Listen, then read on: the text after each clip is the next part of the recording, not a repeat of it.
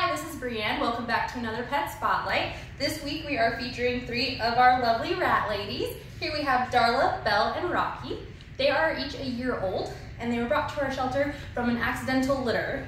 These ladies are a bonded pair, so they all have to go home together because rats do do best um, in a group.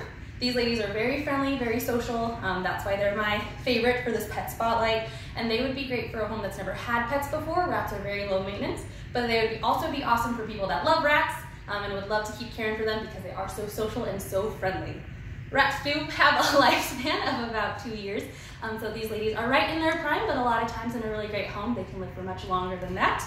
Um, if you're looking for somebody a little younger, we do also have a bunch of their siblings as well. So if you're interested in them, please give us a call at 217-344-7297 to schedule an appointment to visit these lovely ladies um, or their friends.